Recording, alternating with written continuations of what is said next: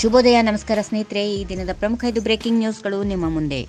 ನನ್ನ ಹುಟ್ಟಿದ್ದಿನ ನನ್ನ ಅವ್ವ ಅಪ್ಪನಿಗೆ ಗೊತ್ತು. ಬಿಜೆಪಿ ಅವರಿಗೆ ಏನ್ ಗೊತ್ತು ಎಂದು ತಮ್ಮ ವಯಸ್ಸಿನ ಕುರಿತು ಆರೋಪ ಮಾಡಿದ್ದ ಬಿಜೆಪಿ ನಾಯಕರಿಗೆ ಸಿದ್ದರಾಮಯ್ಯ ತಿರುಗೇಟು ನೀಡಿದ್ದಾರೆ. ಸಿದ್ದರಾಮಯ್ಯನವರಿಗೆ ಎಪ್ಪತ್ತೈದು ವರ್ಷ ಆಗಿಲ್ಲ. ರಾಜಕೀಯಕ್ಕೆ ಬೇಕಾಗಿ ಸಿದ್ದರಾಮೋತ್ಸವವನ್ನು ಆಚರಿಸಿದ್ದಾರೆ ಎಂದು ಬಿಜೆಪಿ ನಾಯಕರು ಆರೋಪಿಸಿದ್ದರು. ಇದಕ್ಕೆ ಪ್ರತಿಕ್ರಿಯೆ ನೀಡಿದ ಅವರು, ಸಿದ್ದರಾಮೋತ್ಸವ ಯಶಸ್ಸಿನಿಂದ ಅವರಿಗೆ ಹೊಟ್ಟೆ ಉರಿ ಶುರುವಾಗಿದೆ. ಅದಕ್ಕಾಗಿ ತಮ್ಮ ವಯಸ್ಸಿನ ಕುರಿತು ಸುಳ್ಳು ಹಬ್ಬಿಸುತ್ತಿದ್ದಾರೆ. ಅವರಿಗೆ ಹೇಳಲು ಬೇರೆ ವಿಷಯಗಳು ಇಲ್ಲ. ಅವರ ಮಾತಿಗೆ ಕಿಮ್ಮತ್ತಿಲ್ಲ ಎಂದರು.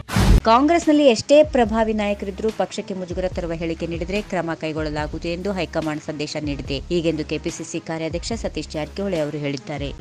ಸಿದ್ದರಾಮೋತ್ಸವದ ನಂತರ ನಾವು ಪಾಪ, ನಿದ್ದೆ, ಊಟ, ತಿಂಡಿ ಏನು ಮಾಡ್ತಿಲ್ಲ. ಹಾಗಂತ ಮತ್ತೆ ಅಧಿಕಾರಕ್ಕೆ ಬರುತ್ತೇವೆ ಎಂಬ ಭ್ರಮೆಯಲ್ಲಿ ತೇಲಬೇಡಿ. ಅದರಿಂದ ಹೊರಬನ್ನಿ ಎಂದು ಶಾಸಕ ಕೆಎಸ್ ಈಶ್ವರಪ್ಪ ಕಾಂಗ್ರೆಸ್ ನಾಯಕರಿಗೆ ಟಾಂಗ್ ನೀಡಿದರು ಇಂತಹ ಕಾರ್ಯಕ್ರಮ ನಾವು ನೂರಾರು ಮಾಡಿದ್ದೇವೆ. ಇತ್ತೀಚೆಗೆ ಒಂದು ಕಾರ್ಯಕ್ರಮ ಮಾಡಿ ಅದೇ ದೊಡ್ಡದು ಎಂದು ಹೇಳಿಕೊಳ್ತಾರೆ ಕಾಂಗ್ರೆಸ್ ನಾಯಕರೆಲ್ಲ. ಒಟ್ಟಾಗಿ ಮಾಡಿದ್ದೇವೆ ಎಂದು ಹೇಳಿಕೊಳ್ಳೋದೇ ಅವರಿಗೆ ಸಂತೋಷದ ವಿಚಾರ. ರಾಹುಲ್ ಗಾಂಧಿ ಮುಂದೆ ತೋರಿಸೋಕೆ ಸಿದ್ದರಾಮಯ್ಯ ಡಿಕೆ ಶಿವಕುಮಾರ್ ಅಪ್ಪಿಕೊಂಡಿದ್ದಾರಷ್ಟೇ. ನಾಯಕರೇ ಮುಂದೆ ನಿಂತು ಸರ್ಕಸ್ ಡ್ಯಾನ್ಸ್ ಮಾಡಿ ಎಂದು ಹೇಳುವ ಸ್ಥಿತಿ ಆ ಪಕ್ಷದವರಿಗೆ ಬಂದಿದೆ ಎಂದು ಲೆವಡಿ ಮಾಡಿದರು.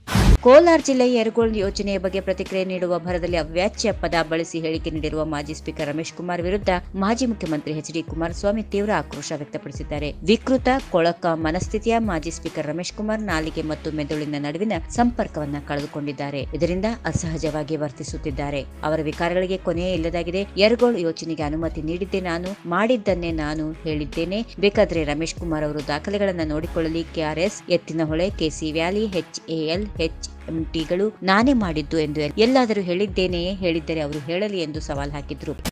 ಬಿಬಿಎಂಪಿ ಮೀ, ಚುನಾವಣೆ ಮೀಸಲಾತಿ ಕುರಿತು ಕಾಂಗ್ರೆಸ್ ನಾಯಕರ ಪ್ರತಿಭಟನೆಗೆ ಕಿಡಿಕಾರಿರುವ ಉನ್ನತ ಶಿಕ್ಷಣ ಸಚಿವ ಅಶ್ವಥ್ ನಾರಾಯಣ, ಚುನಾವಣೆ ಬೇಡ ಎನ್ನುವುದು ಕಾಂಗ್ರೆಸ್ ಉದ್ದೇಶವಾಗಿದೆ. ಚುನಾವಣೆಗೂ ಮುನ್ನವೇ ಕಾಂಗ್ರೆಸ್ ಸೋಲೊಪ್ಪಿಕೊಂಡಿದೆ ಎಂದು ವಾಗ್ದಾಳಿ ನಡೆಸಿದರು. ಈ ವಿಡಿಯೋ ನಿಮಗೆ ಇಷ್ಟವಾದಲ್ಲಿ ಲೈಕ್ ಮಾಡಿ, ಶೇರ್ ಮಾಡಿ, ಸಬ್ಸ್ಕ್ರೈಬ್ ಮಾಡಿ.